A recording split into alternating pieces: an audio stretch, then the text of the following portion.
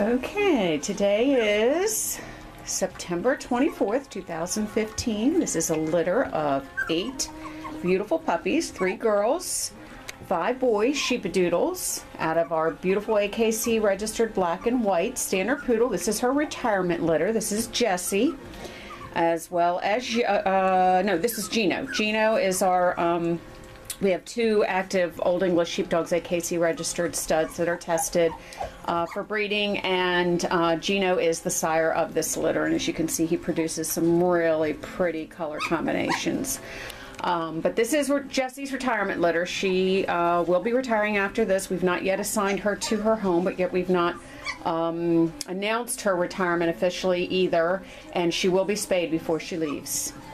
Okay, uh, I don't mem- I haven't memorized these names. They were inspired by my uh, recent um, hobby, and it is a hobby, not part of my business.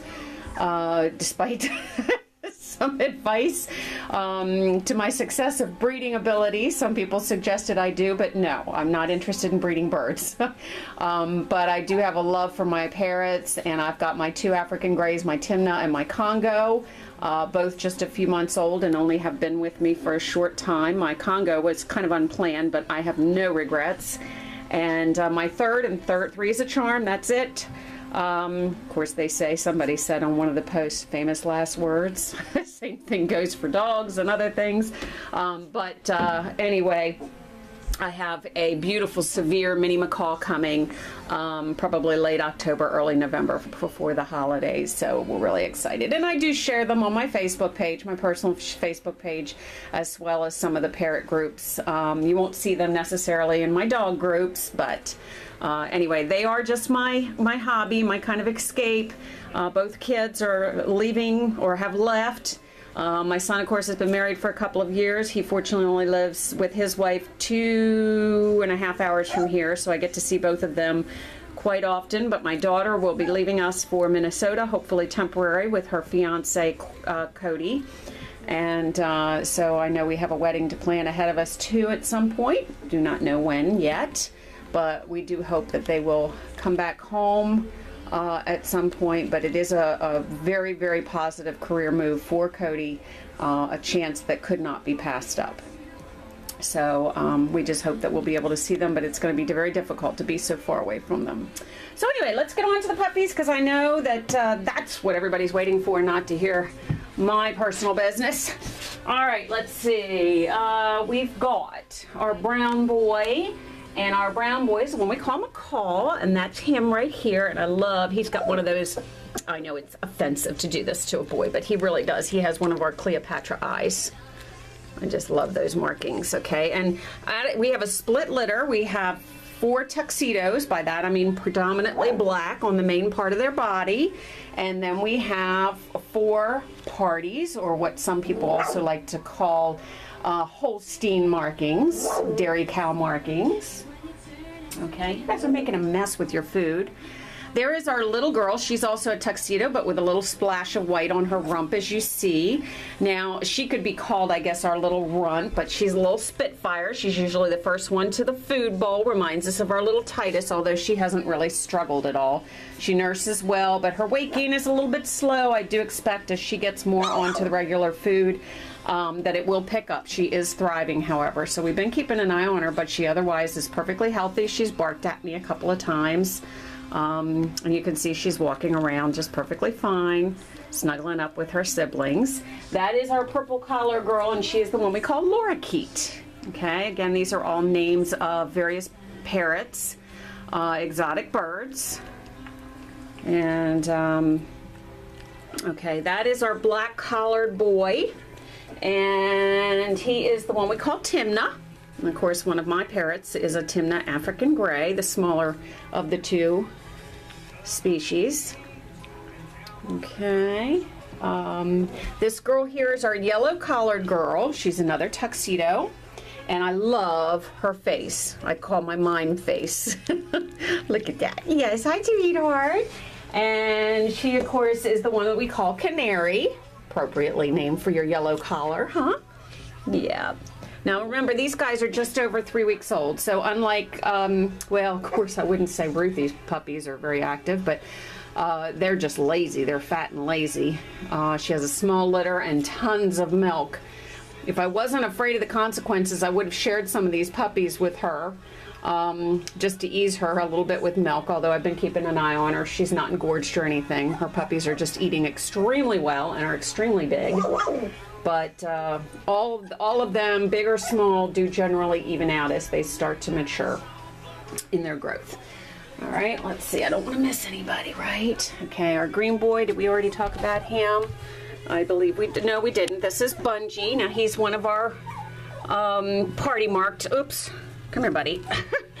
he's one of also our bigger puppies in this litter. Okay, he's well fed. That is Bungie. Okay. And let's see. Ah, yes, oh no. Brown Macaw, we already talked to you, buddy. Yeah, we already talked to you. You're just barking for me, aren't you? That's my little lorikeet. It was kind of not intentional at the time that she got assigned her name, but lorikeet is one of the smaller parrots. Um, not, somebody tried to talk me into getting one. They are phenomenally beautiful. I mean, they're like rainbow colors, just very brilliant, but they eat this mush. And uh, so their dietary needs are much, much different than the typical exotic bird and wasn't something I really wanted to fuss with. So, and they are very loud, despite their little size. All right, uh, let's see, what do we got here? We got our gray boy, and this is Congo.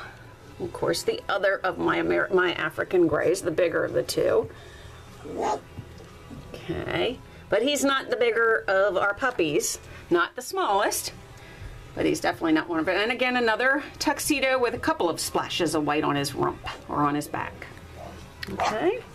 And here's another one of our parties, and this is a girl. This is our red collared girl. Whoops, I'm sorry, sweetheart. Hard to do this one-handed. You're pretty big. That's our parrot. Okay. They just kind of ate the food that I just put in front of them. So once they eat, they kind of get this uh, food coma, milk coma, you name it. All right, here's our blue boy. Again, another one of our parties, and he is the one that we call Senegal. Got a little bit more black on him, but quite a variety of color. Why do I feel like I missed somebody? Okay, there's our gray boy, and that is Congo our red girl back there going back to sleep. She says, leave me alone, it's nap time. That's Parrotlet and our little blue boy. I'm sorry, I didn't mean to startle you. Here, baby. Yes. Yeah, this is a very discovering phase. And if I move too quickly around them, they not quite sure who I am, huh? By next week, you'll probably be jumping all over me. Yeah, oh, who's that? Sassy. Okay, so that's our blue boy, and he's the one we call Senegal. Mr. Sassy over there is our black collar boy. It's really, really too early to tell their temperaments. I think he's looking to go potty.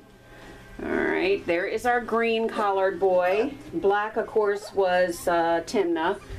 Oh, what a big yawn. That's our green collared boy. And that is the one, of course, we call Bungie or Budgie, I'm sorry. I think I'm mispronouncing that. I do apologize. Budgie. Okay, and this is Canary. You're easy to remember because of your yellow collar, and you are such a big girl. My little mime girl. Yeah. Goodness, can she not leave us alone? There's my little squirt. There's my little lorikeet. Yeah, there's my little squirt. Come on, camera. Yeah. There we go. Okay. Somebody's somebody's sniffing from behind here.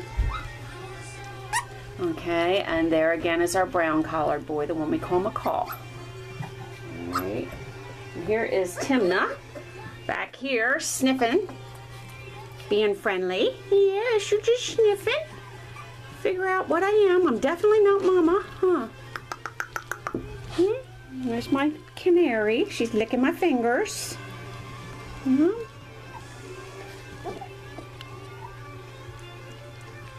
Woo! You guys aren't helping here. All right, that's Budgie. That's Budgie, Buggy, Budgie. Yeah. I don't know. As far as I know, it's a parrot. I mean, a parakeet. It's probably- I probably should have just called you parakeet. No, that would be a girl. Yeah, that would be a girl. Okay. So, mom's sounding like she wants in now. Oh, what are you doing? Huh? What are you doing, baby girl? Huh? What are you doing? There's Canary. So, I'm to give you a nice wide shot of the entire litter. There's two of them eating. Um, that would be Budgie. And let's see the co- I think that's the gray collared boy, which would be Congo, right next to him. There's the rest of the litter crashing out, with the exception of Canary. And there's Mom. You ready to come in, baby girl? Huh? All right, we'll let you in. Puppies are fine. All right, thank you very much. Again, this is Lawpdoodle. I may not have even said it in the beginning. Uh, Lawpdoodle Canine Manor. It's L A W P D O O D L E K, the number nine, Manor, M A N O R dot com for our website. And uh, please uh, email us if you have any questions or would like to know about our other upcoming litters later this year at lpdk10608 at gmail.com. And we thank you for viewing our puppies. Yes. Our puppies. And may God bless you.